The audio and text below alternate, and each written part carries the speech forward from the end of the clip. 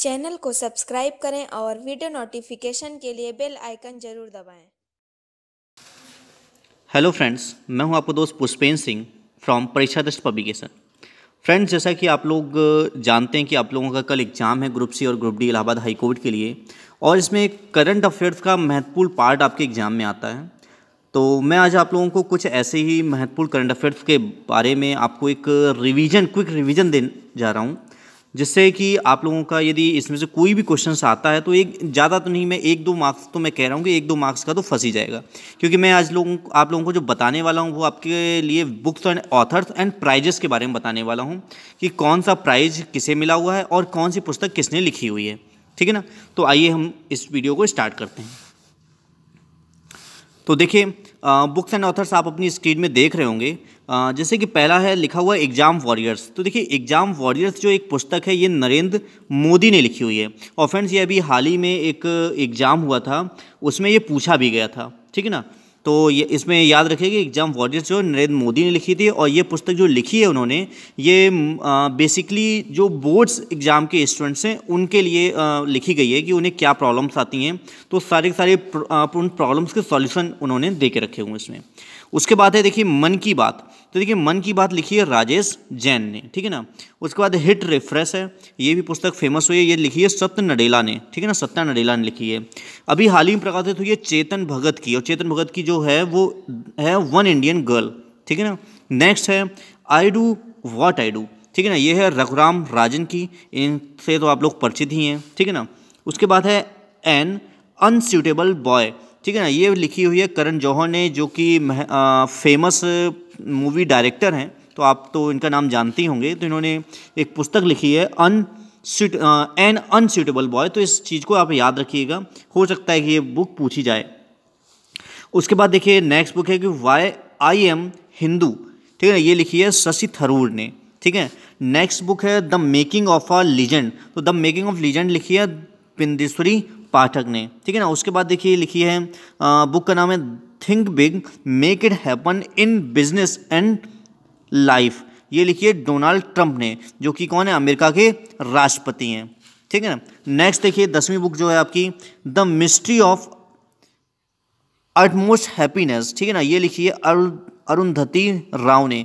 इनकी कई पुस्तकें पूछी गई हैं तो इस वजह से इनका नाम आप लोग याद रखिएगा उनकी पुस्तक भी अभी याद रखिएगा कि इन्होंने कौन सी पुस्तक अभी हाल ही में लिखी है।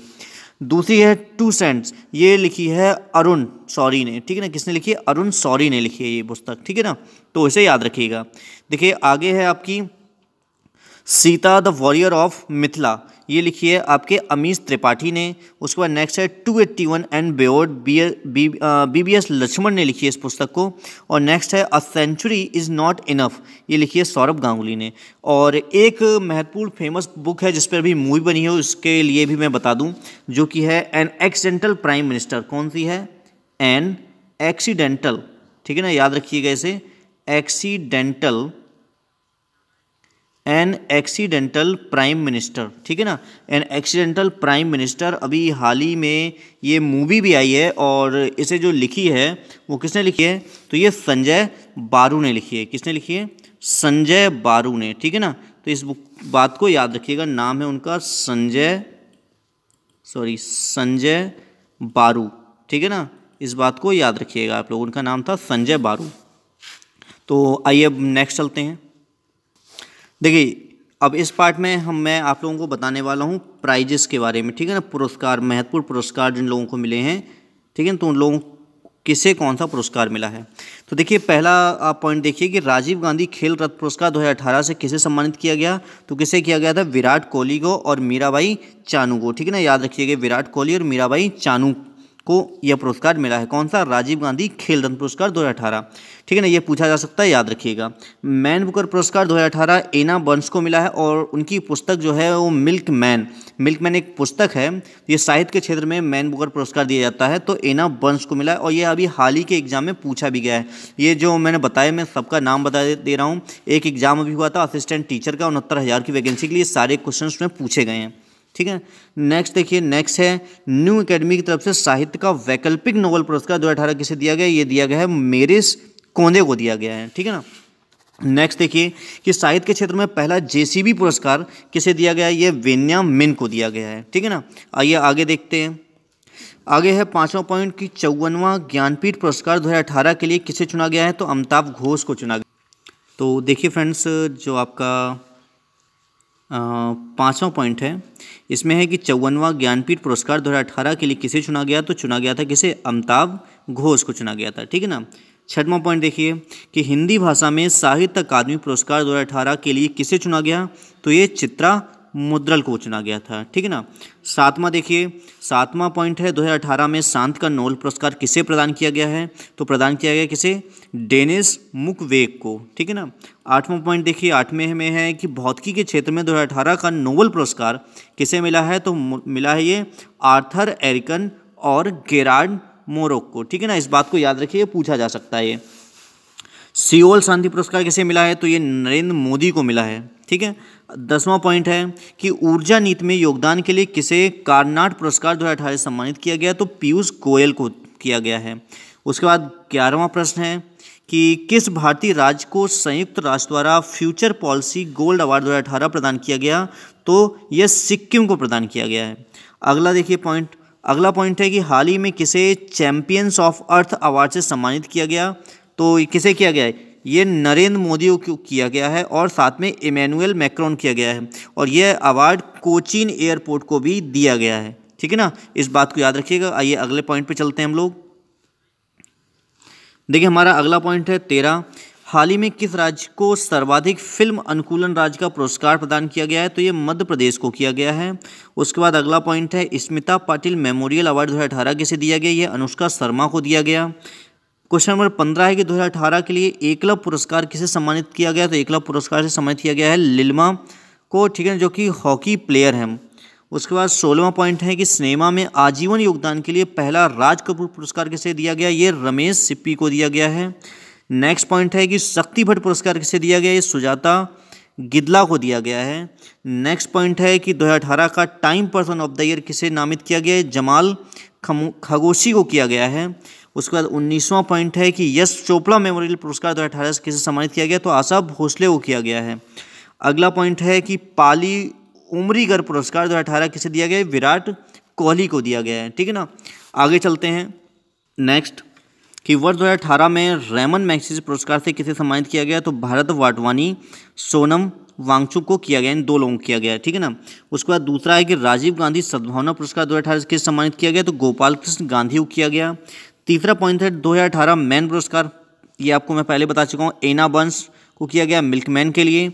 मैन बुक बुकर अंतर्राष्ट्रीय पुरस्कार जो दिया गया है, वो ओल्गा टोकारजू को किया गया है और गोल्डन मैन पुरस्कार माइकल ओंडा टेजे को दिया गया है, ठीक है ना? देखिए, अगला पॉइंट है कि ऑस्कर 2018 किस फ़िल्म को मिला?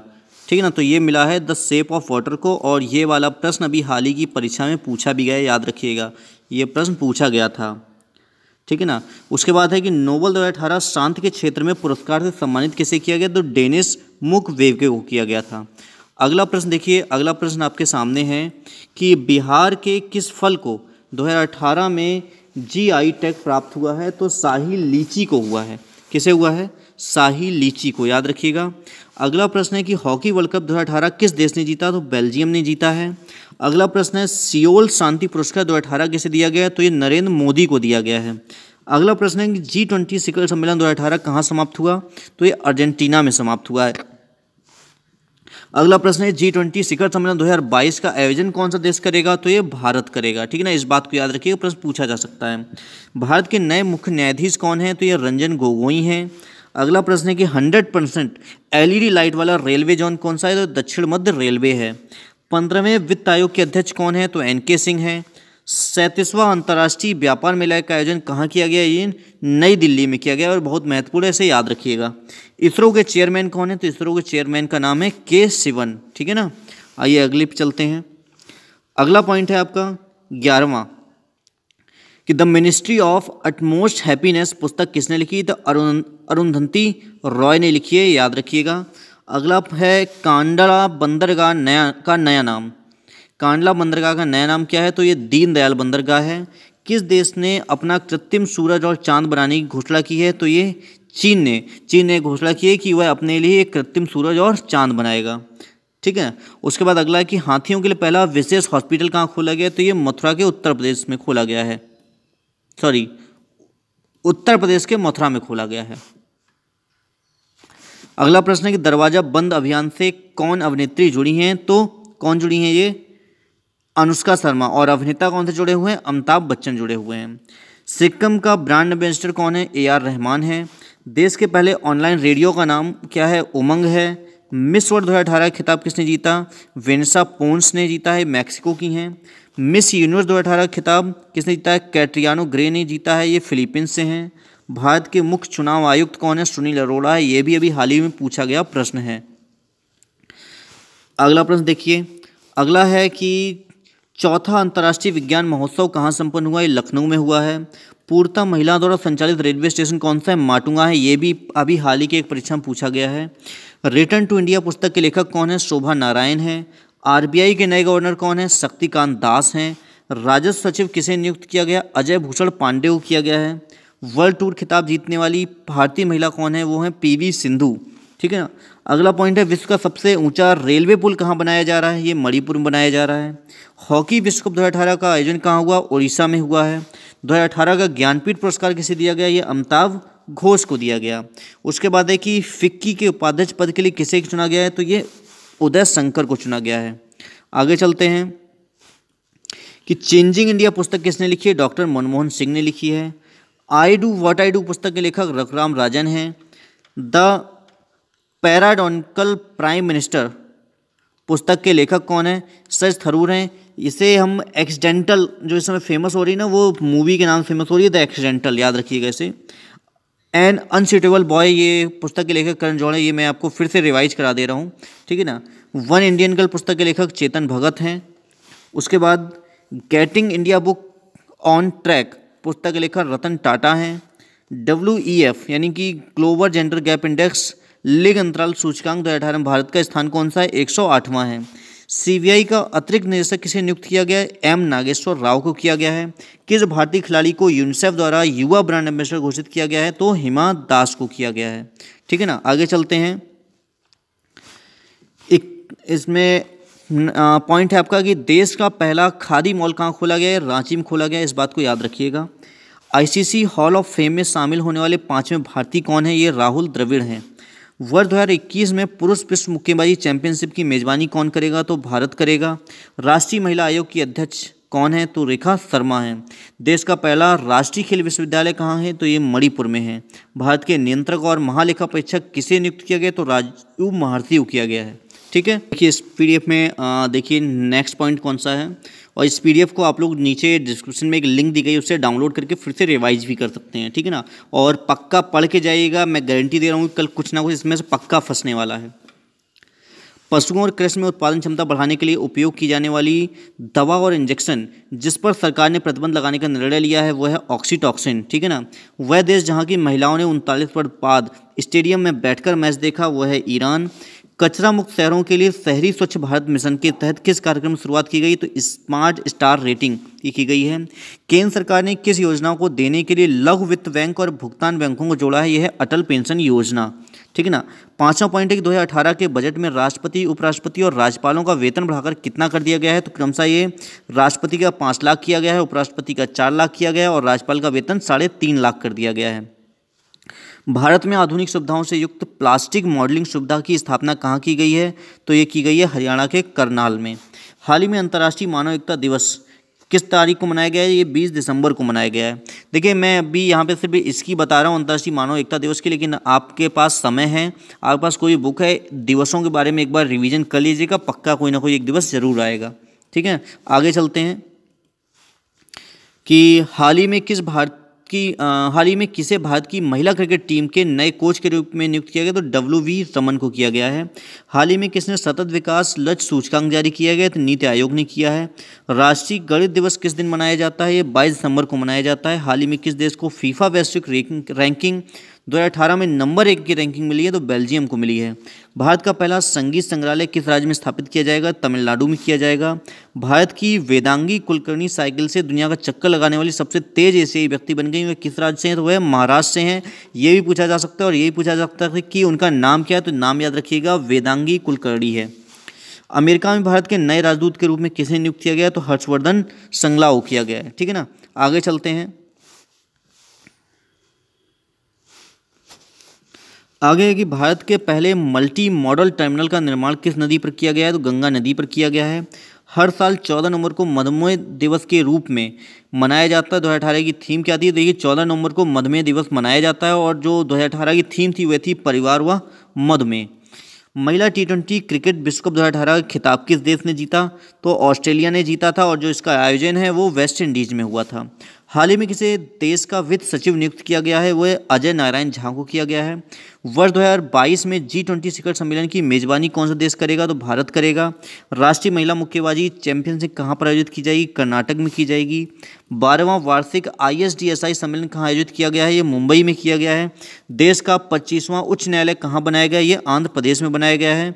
और छागनी प्रवीण कुमार जो है, वो इसके कार्यवाहक के रूप में कार्य कर रहे हैं। ठीक है, आगे चलते हैं। चौबीसवां पॉइंट है कि किसने Balkan athlete of the year award 2018 जीता है? लुका मॉड्रिक ने जीता है। हाल ही में कौन सी ट्रेन भारत की सबसे तेज़ ट्रेन बन गई? ट्रेन 18 ये अभी असिस्टेंट टीचर के एग्ज़ाम में पूछा भी गया था और इसका जो ट्रायल किया गया था, वह सॉरी दिल्ली से बनारस होना था, लेकिन कुछ खराबी कारण इसे प्रयागराज से ही वापस कर दिया गया था। किसने सुभाष चंद्र बोस आपदा प्रबंधन पुरस्कार लॉन्च किया? भारत सरकार ने किया है। कौन सा मंत्रालय फैली उन्नीस में फोटोग्राफी पुरस्कार का आयोजन करेगा। तो ये सूचना और प्रसारण मंत्रालय करेगा। हाल ही में किस मंत्रालय के द्वारा साइबर सुरक्षा पर पुस्तक जारी की गई, गृह मंत्रालय द्वारा की गई है। किसने ड्रोन ओलंपिक पर वेब पेज लॉन्च किया है तो निर्मला सीतारमन ने किया है। किस राज्य में उज्ज्वला सैनिटरी नैपकिन पहल की शुरू हुई है, वो है ओडिशा में हुई है। ठीक है ना? तो ये आपके कुछ महत्वपूर्ण प्रश्न हैं इस एक साल में, जो कि आपके परीक्षा के लिए बहुत ज़्यादा इंपॉर्टेंट है। आप इसका रिवाइज कर लीजिएगा फिर से। इसलिए मैं आप लोगों को नीचे इसकी पूरी की पूरी पीडीएफ की लिंक दे दे रहा हूँ ताकि आप लोग डाउनलोड करके फिर से आप लोग रिवाइज कर लीजिए।